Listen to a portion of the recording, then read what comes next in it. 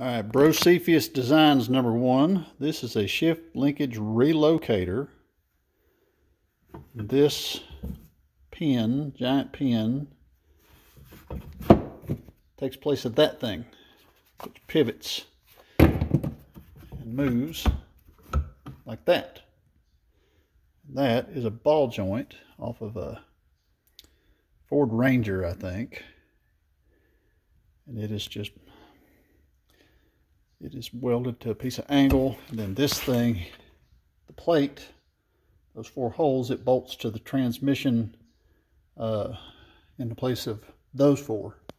So I'm going to pause this and we'll see how it works in the car.